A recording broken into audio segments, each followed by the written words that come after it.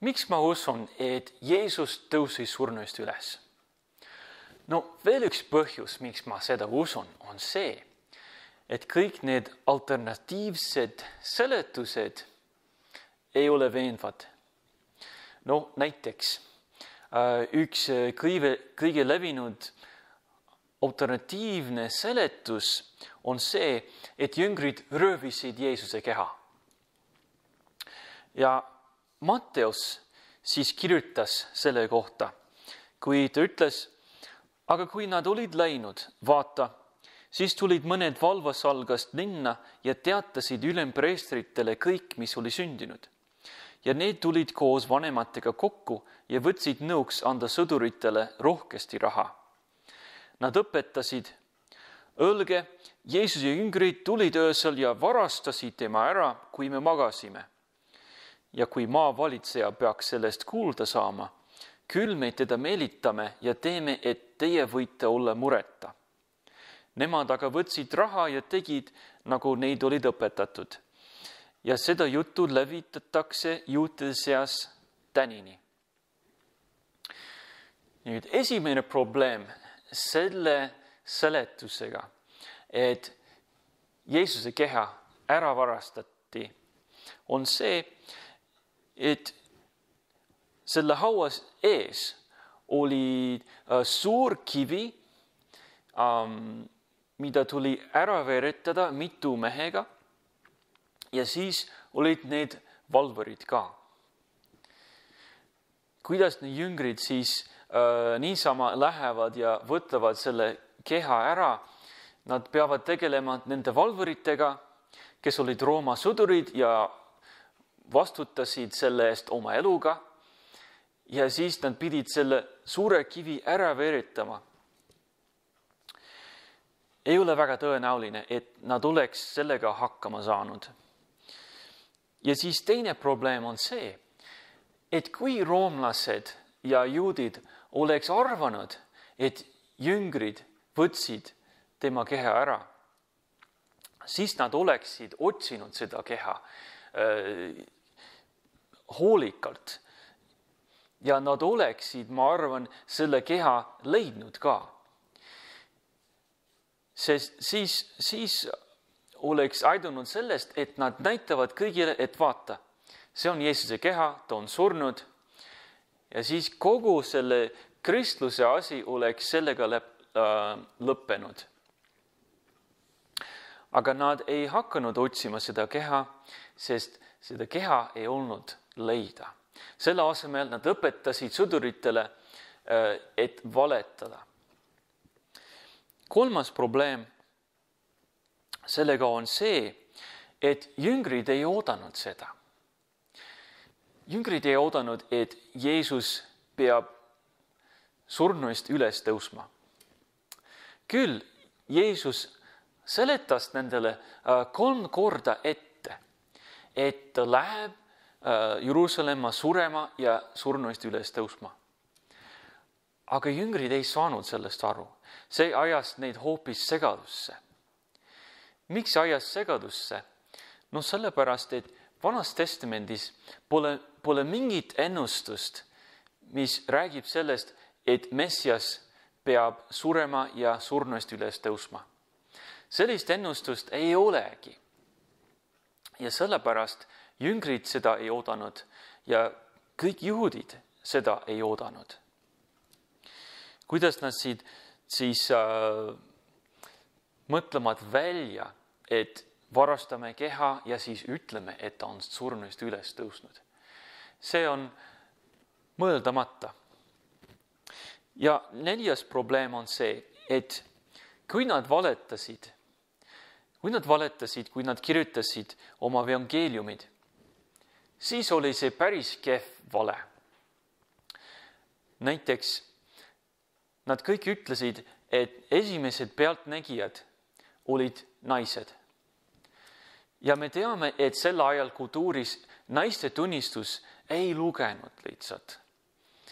ja siis nad jätsid välja igasugused äh, noh, kasulikud detailid. näiteks mitte keegi ei kirjuta sellest, kuidas oli, kui Jeesus tuli hauast välja. lihtsalt nad ütlevad, et teda pandi hauda ja siis see haud oli tühi ja siis hiljem nad nägid Jeesust. kui see on vale, siis see on päris kehv vale. teine seletus on see, et Jeesus ei surnudki. Jeesus ei surnud, kõik arvasid, et Jeesus suri, aga ta ei surnud. kui see seletus on sulle veenav, siis see tähendab, et sa ei tea, mis asi on ristilöömine.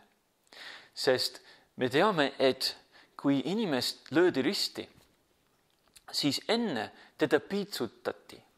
teda piitsutati nii julmalt, et mõned surid seda piitu, piitsutamise pärast ja ei jõudnud siis ristile. Nad surid enne. no Jeesust piitsutati nõnda ja siis teda naelatati ähm,, löödi risti.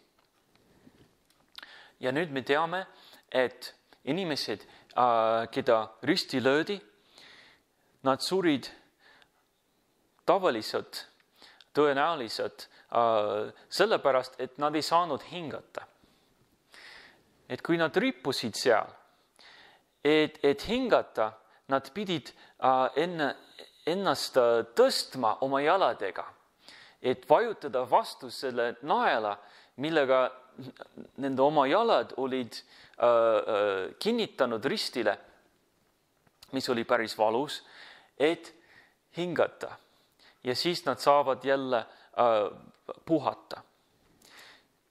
Et tõenäoliselt inimesed surid risti peal mitte nende haavatuste pärast, vaid sellepärast, et nad ei saanud hingata. nii, nii kaua, kui nendel oleks jõudu, nad said siis ennast tõsta ja hingata.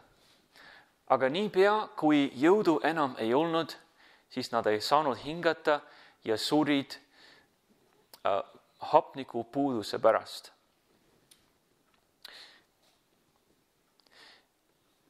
ja mis veel, teine probleem on see, mida Johannes kirjutas. ta kirjutas, üks sõdur torkas piigiga tema küljesse ning kohe voolas välja verd ja vett.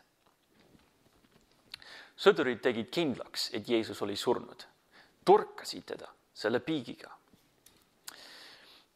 ja see viib meile järgmise probleemile, mis on see, et Need Rooma sõdurid, kes teda risti lõid, nad teadsid, et Jeesus oli surnud. Nad oleks teadnud. Nemad olid professionaalsed sõdurid, professionaalsed tapjad. Nad olid näinud mitu-mitu inimese surma. ja nad teadsid, kas inimene on surnud või ei ole surnud. ja nad tegid kindlaks, et inimesed oleksid surnud ja siis neljas probleem sellega on see, äh, millest äh, nüüd Matteus kirjutas. ta kirjutas ja Joosep võttis ihu, mässis selle puhtasse linnasse ja pani oma uude kaljusse rajatud hauakambrisse ning veeritanud haua ukse ette suure kivi, läks ära. nii Jeesus suri, aga ütleme nii, et ta ei surnud mingisuguse ime pärast äh,. pandi haua sisse ähm,. aga enne ta oli siis mähitud äh, suri äh, linnudesse, suri linnadesse. ja siis selle kivi oli ette veretatud.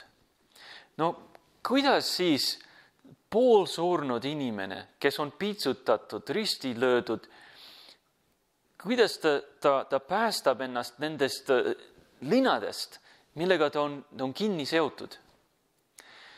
ja siis, et ta oleks veel jõudu, et selle suure kivi, äh, mida tuli mitu mehega ära veretada, ise ja üksi ära veretada.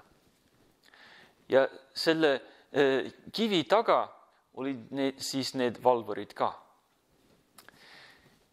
kui nii, siis see on iseenesest ime. aga siis järgmine, viimane, kõige levinud seletus on see, et jüngrid hallutsineerisid.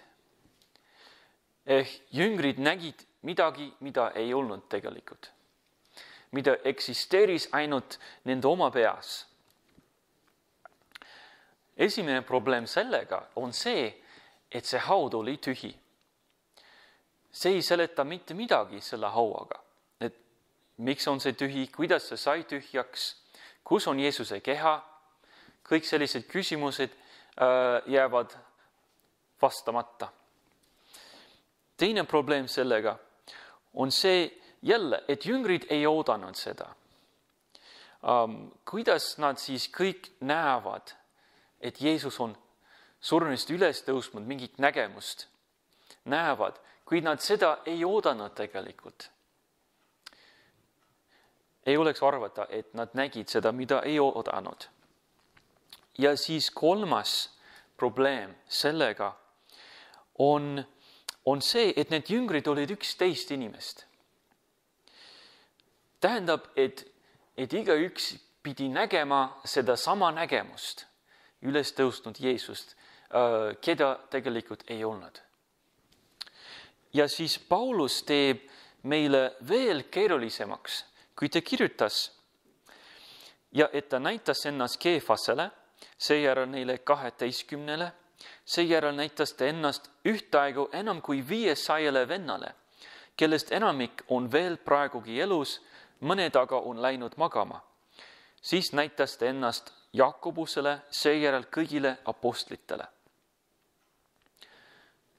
Paulus kirjutas, et Jeesus näitas ennast ühtaegu rohkem kui viiesajale inimesele. tähendab, et kõik need viissada inimest Nad pidid nägema sedasama nägemust. aga kui viissada inimest ühes ja samas kohas näevad ühte ja sama asja, siis ei ole tegemist enam hallutsineerimisega, siis on tegemist nagu päris asjaga. tähendab, et nad nägid seda. kui, kui viiesajast inimesest ei piisa, et tõestada, siis siis me ei saa mitte midagi tõestada. hallutseneerimine on, on midagi, mida üks inimene siis näeb ja teised ei näe.